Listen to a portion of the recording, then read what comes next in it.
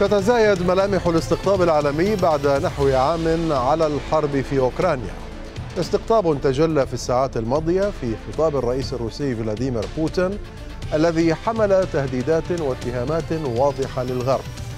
وكذلك في جولة الرئيس الأمريكي جو بايدن الأوروبية والتي شملت زيارة مفاجئة لكييف وأخرى لبولندا حيث كانت الرسائل واضحة بمواجهة موسكو.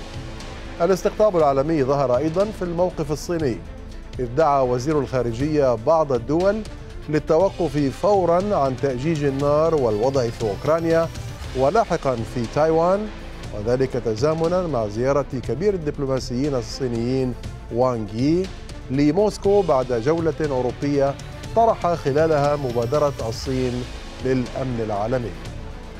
هل بات الاستقطاب بين الغرب من جهة وروسيا والصين من جهة ثانية واقعا؟ وكيف ستبدو تداعياته؟ معنا الآن من موسكو الخبير في مجلس روسيا للشؤون الدولية نيكوتا نيكيتا مينكوفيتش ومعنا من واشنطن الخبيرة الاستراتيجية الديمقراطية نيكول برينر شميتس ومن الرياض ينضم إلينا الباحث في العلاقات الدولية إلهام لي. مرحبا بالجميع. سيد مينكوفيتش في في موسكو مرحبا بك معنا. ودعني أبدأ معك اولا. هل من الواقع ومن ال من ال الدقيق أن نقول أن هناك بالفعل مرحلة جديدة من الاستقطاب دخلها العالم؟ نحن في المقدمة وضعنا روسيا والصين في في جهة والغرب في جهة أخرى. إلى إلى أي مدى هذا التقييم دقيق برأيك.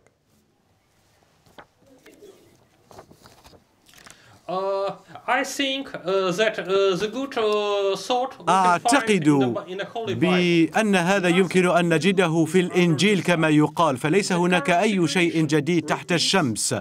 الوضع الحالي يعيد ما كان في 1941 حين دولة روسيا هوجمت من الغرب.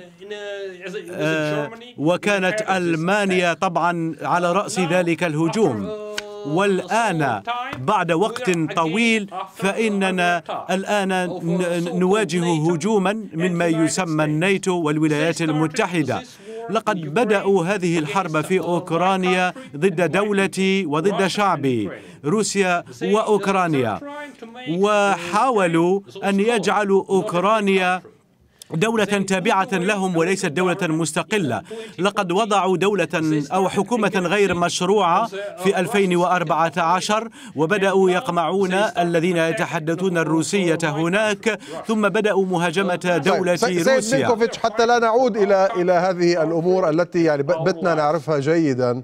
أنا سألتك تحديدا عن مسألة الاستقطاب العالمي. هل تعتقد بأننا دخلنا مرحلة استقطاب يكون تكون فيها روسيا والصين كما يقول البعض في طرف والغرب في طرف آخر.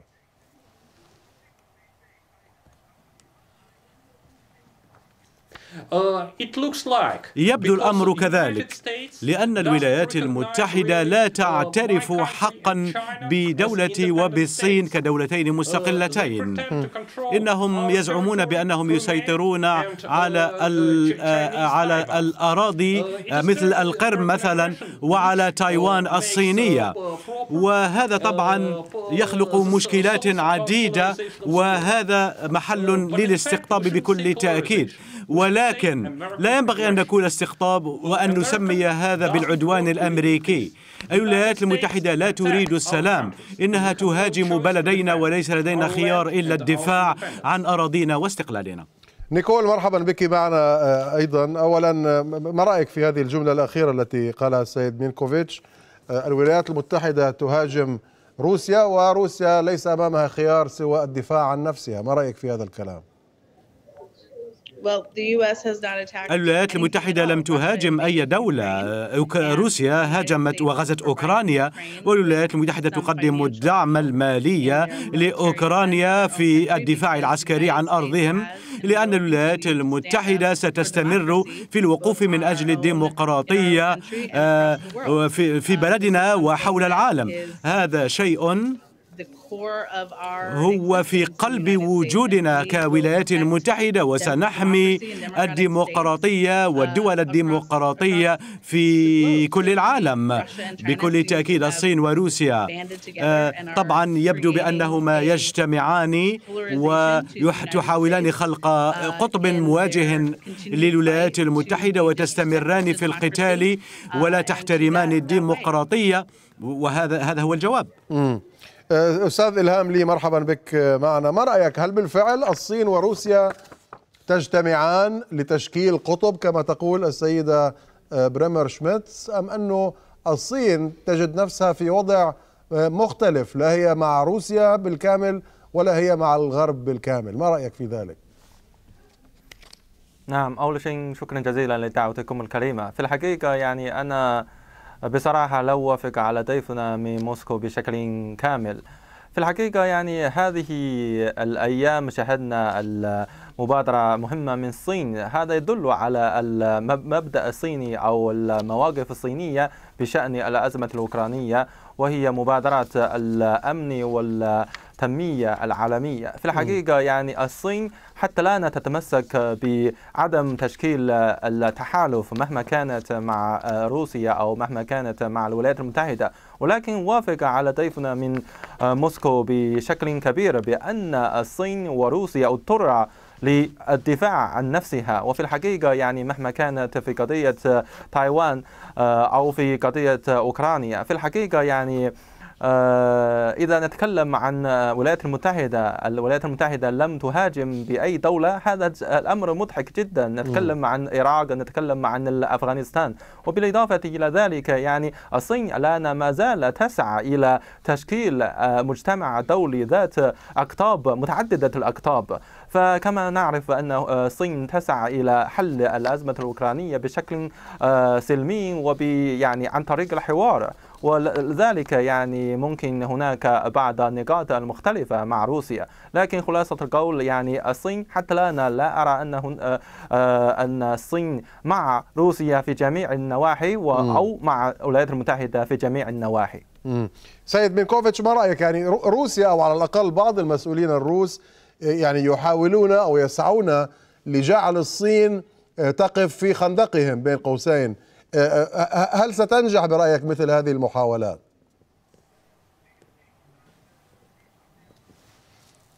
Uh, uh, لا أعتقد أن المسؤولين الروس بحاجة إلى فعل أي شيء في هذا الإطار.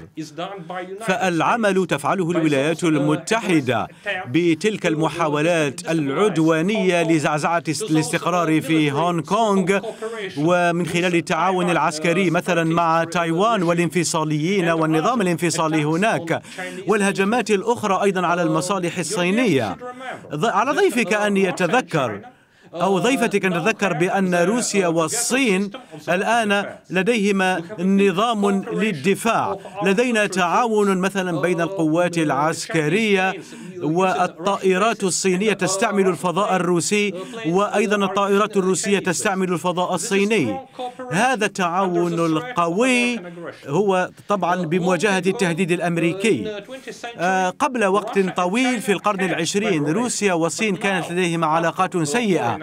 ولكن بعد الاعتداءات الأجنبية من الولايات المتحدة التي تحاول طبعا القضاء على استقلالنا ليس لدينا خيار إلا التعاون وطبعا هذا لا يؤدي فقط إلى عرض هذا نتيجة للسياسات العدوانية للولايات المتحدة. هم يعتقدون بأنهم بأننا نحن الصينيين والروس والأوكرانيين عبيد لهم وأنهم يمكن أن يأمرونا كيف مثلا ندير أمورنا. أيها الأمريكيون خذوا أسلحتكم وابتعدوا عنا ولا تحشروا أنوفكم في أمورنا وابتعدوا عنا. أنتم لستم أسياد العالم. أنتم فقط ناس عاديون. تذكروا هذا. نيكول ما رأيك؟ يعني رسالة يوجهها السيد مينكوفيتش آه، إلى إلى الأمريكيين. خذوا أسلحتكم وارحلوا عنا. يعني هل هذا الكلام من وجهة نظر واشنطن له أي آه، أي مبرر؟ آه، هل تتفهم واشنطن؟ وربما حلفاء واشنطن مثل هذه الدعوات. لا بكل تأكيد لأننا لا نخضع ولا نستمع للدعايات المضللة. الولايات المتحدة لم لم تقل أبدا للروس والصينيين ما يفعلونه وروسيا هي التي غزت أوكرانيا. وأيضا نحن فقط ندعم الديمقراطيات وحلفائنا هذا ما فعلته الولايات المتحدة. لم نغزو أو أي نقل لأي أحد كيف يدير أموره. نحن فقط نحمي الديمقراطيات. إلهام الجانب الروسي يحاول أن أن كما كما قال السيد مينكوفيتش قبل قليل يعني كما أشار يحاول الجانب الروسي أن يظهر وكأنه الصين وروسيا في مواجهة الآن مع الغرب معا. هناك مشاكل بين الغرب من جهة والصين وبين الغرب وروسيا من جهة أخرى ولكن هل هل يعني من من الدقيق أن نقول أن هناك تعاون عسكري حلف عسكري بين روسيا والصين اليوم في مواجهة التهديدات الغربية هل هذا دقيق برأيك؟ نعم في الحقيقة يعني التعاون العسكري بين الصين وروسيا وحتى من ضمن أو داخل منظمة شنغهاي للتعاون هذه هذا التعاون بشكل عميق جدا. فيعني لا آه، آه، الحاجة لذكره. وبالإضافة إلى ذلك بالنسبة إلى لا, لا, لا حاجة لذكره بشكل عام أستاذ إلهام. ولكن في سياق الحرب نعم. الروسية على أوكرانيا هل يمكن الحديث عن مثل هذا الحلف؟ هل اليوم الصين تقف إلى جانب آه، روسيا عسكريا في حربها ضد أوكرانيا؟ حتى الآن لا يمكن أن نقول ذلك وأعتقد هذا غير دقيق. بالنسبة إلى التحالف العسكري أعتقد يعني معناه تقديم المقاتلات أو المسيرات أو مثلا الأسلحة الدبابات إلى الحليف. ولكن بالنسبة للتعاون بين الصين وروسيا حتى بعد اندلاع الأزمة الأوكرانية لا نرى أن هناك ما يسمى بصفقة الأسلحة بين الصين وروسيا.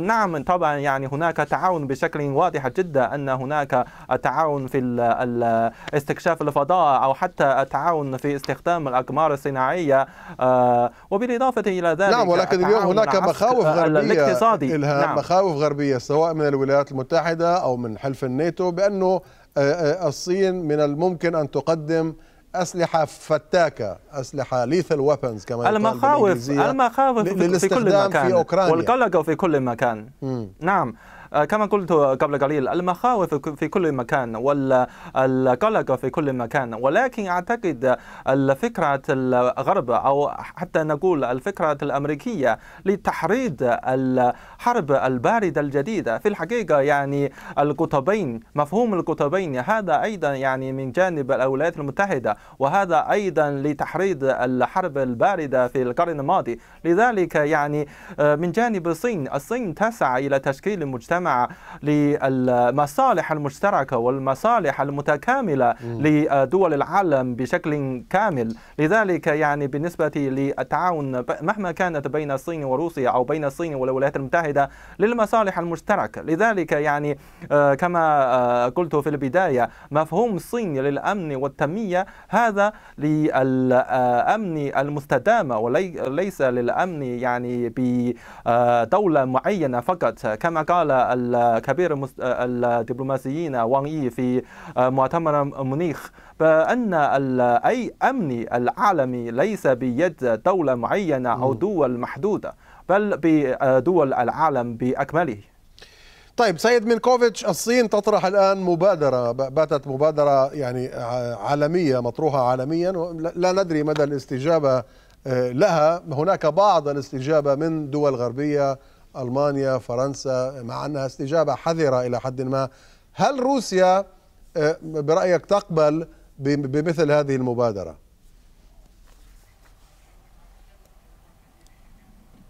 Uh, روسيا كانت دائما مهتمة بالسلام. ولكن المشكلة هي من الجانب الأمريكي. روسيا طالبت بمفاوضات من أجل السلام قبل بدء العملية في أوكرانيا. طالبنا من الناتو ومن الولايات المتحدة أن يخرجوا قواتهم وقواعدهم العسكرية بعيدا عن أوكرانيا.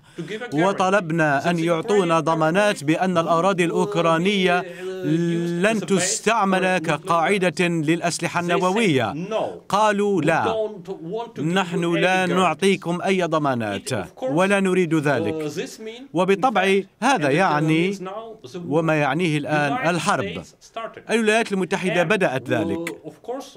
وبكل تأكيد لو أن الولايات المتحدة قالت نحن آسفون لقد كان جنودنا الذين يقاتلون ضدكم في أوكرانيا وجنودنا الذين مثلا آه، يعودون إلى كجثث إلى وأن أسلحتنا التي ترسل لقتلكم وقتل الشعب الأوكراني لو أن الولايات المتحدة وواشنطن قالت بأنهم يعترفون باستقلال روسيا ولا يريدون أن يدخلوا الأراضي مثل آه، القرم وزابوريجيا وغيرها فهذا مقبول. ولكن الولايات المتحدة كانت تقول دائما لا ولا ولا إنهم لا يريدون أن يعطوا أي نوع من الضمانات للروس وللصينيين وللعرب. هل هل يعتقدون أننا عبيد لهم؟ نحن لسنا كذلك. نحن نقاتل من أجل حريتنا ولإخراج الولايات المتحدة من الأراضي الأوكرانية ومن أرضنا لوقف قتل إخواننا.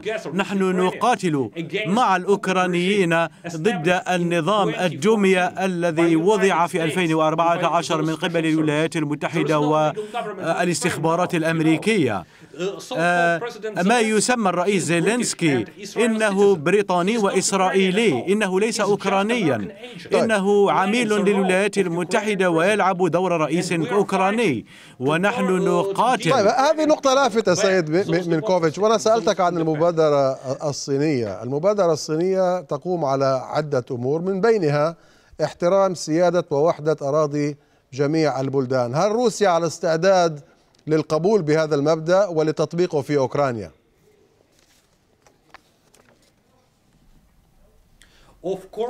بالطبع نعم. لو أن الولايات المتحدة أيضا ستقبل بسيادتنا وتحترمها ولو أخرجوا الأسلحة والقوات من أوكرانيا فالأمر سيكون مقبولا لأن الشعب الأوكراني سيكون حرا من تلك الحكومة وسيبدأ مفاوضات مع روسيا لإيجاد حدود جديدة وظروف جديدة للتعاون. والشعب الأوكراني هم إخواننا. لا نريد أن نقاتلهم. وفي الحقيقة أننا في حرب مع الولايات المتحدة. لو قالت واشنطن حسنا نريد مفاوضات سلام مع روسيا وسنخرج قواتنا من أوكرانيا. فسينتهي الأمر.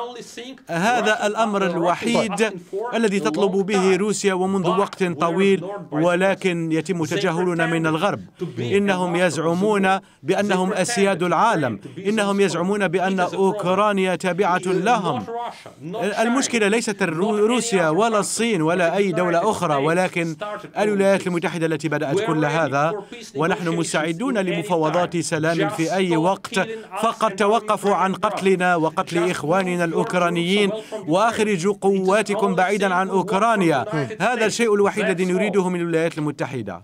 نيكول ما رأيك في هذا الكلام؟ المشكلة ليست لا روسيا ولا, ولا الصين ولا أوكرانيا ولا أي طرف آخر. المشكلة هي الولايات المتحدة. دعوة إلى إخراج القوات الأمريكية من أوكرانيا. ما رأيك في هذا الكلام؟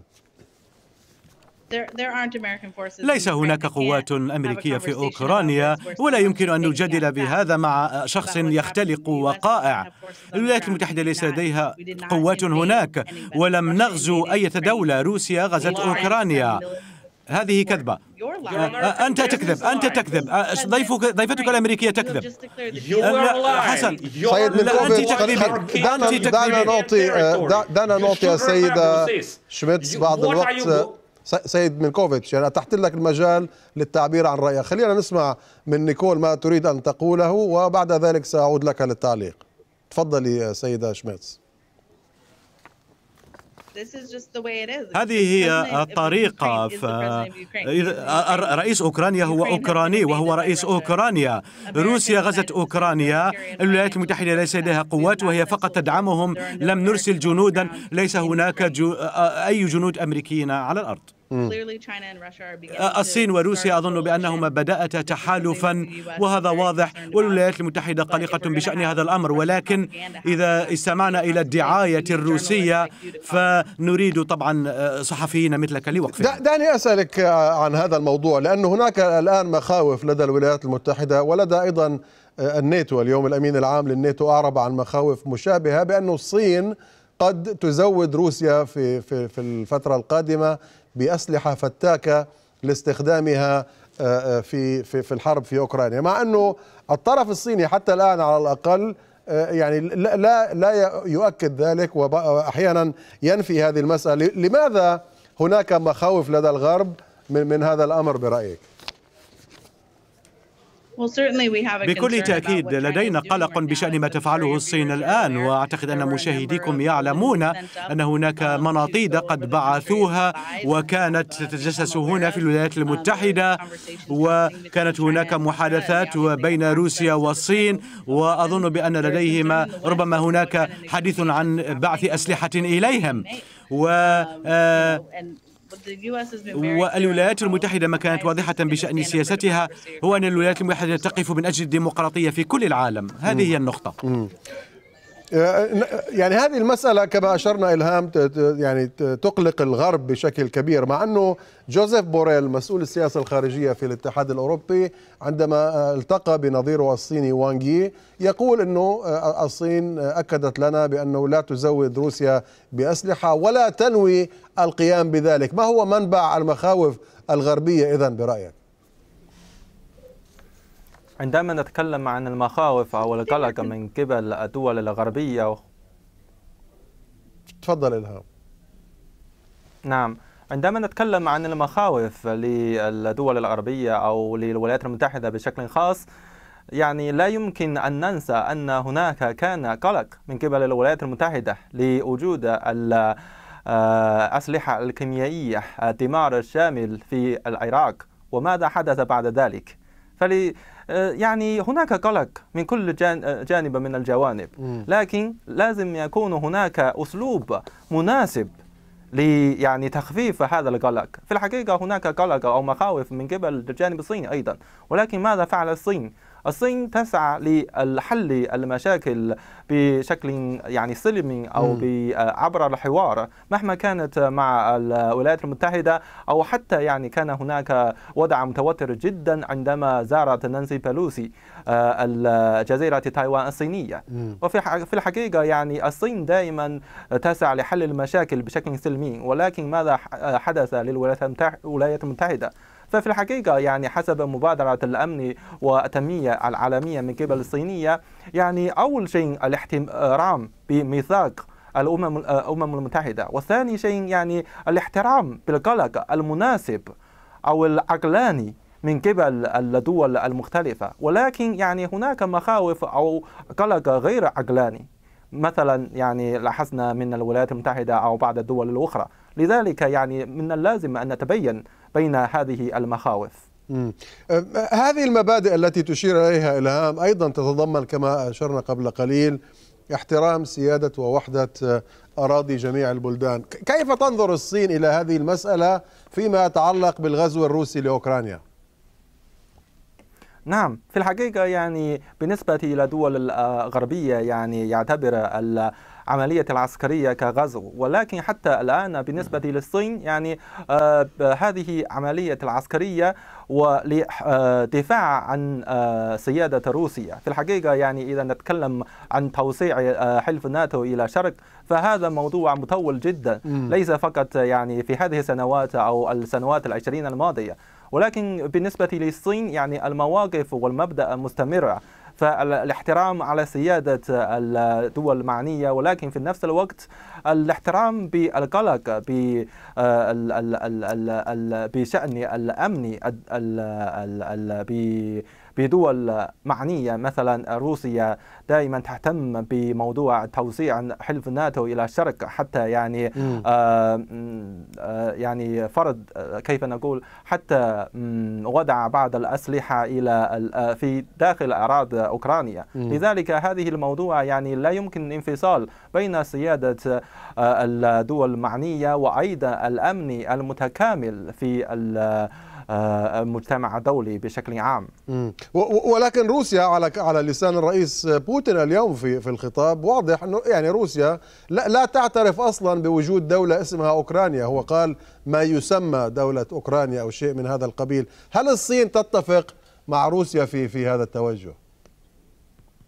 نعم طبعا يعني بهذا هذه النقطة لا أرى أن هناك يعني التعبير مثل هذه التصريحات من جانب وزارة الخارجية الصينية وبالإضافة إلى ذلك يعني حسب التصريحات السابقة من الجانب الصيني يعني الصين دائما تحترم بسيادة الدولة أوكرانيا وبالإضافة إلى ذلك كانت التعاون أو ممكن نقول يعني الصين دائما تسعى للعب دور أكبر أكثر فعالية بالنسبة للعلاقات الأوكرانية وروسيا. لذلك يعني كان هناك علاقة وما زال هناك علاقة دبلوماسية بين الصين وأوكرانيا. لذلك يعني لا يمكن أن نقول يعني هناك النقاط أو مبدأ نفس المبدأ بين الصين وروسيا بشأن الأزمة الأوكرانية.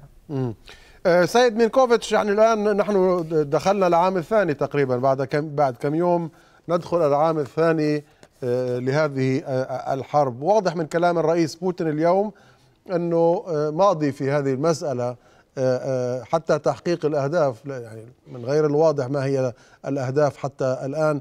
إلى أين تسير الأمور برأيك؟ وهل بالفعل الرئيس بوتين على الأقل في هذه المرحلة ماضي في هذه العملية العسكرية وموضوع مسار تفاوضي أو مسار السلام ليس في وارد البحث على الأقل الآن؟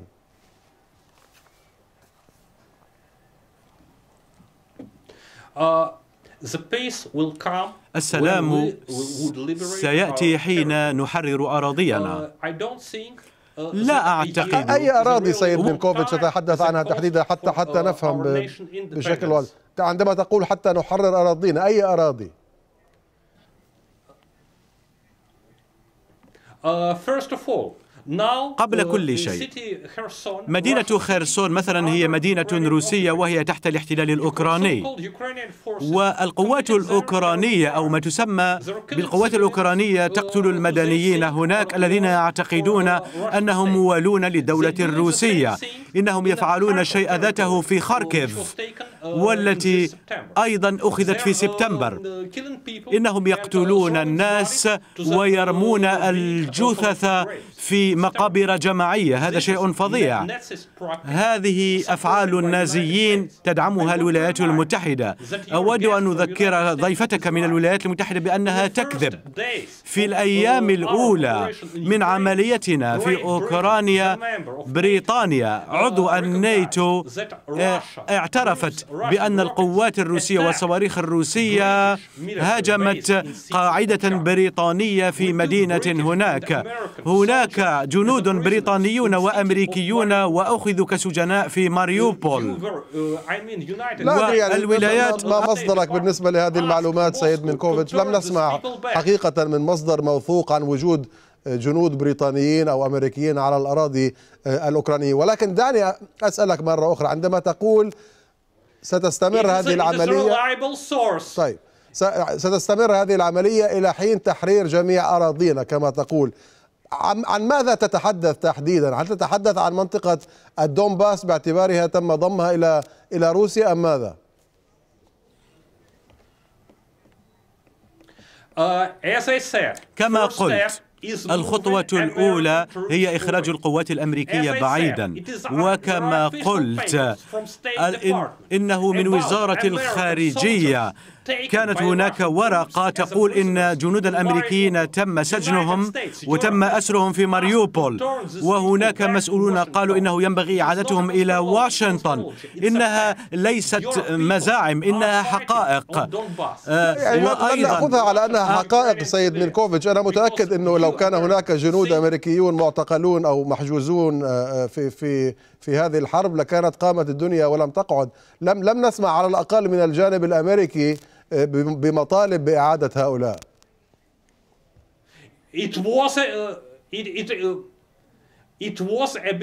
لقد كانت مشكلة كبيرة.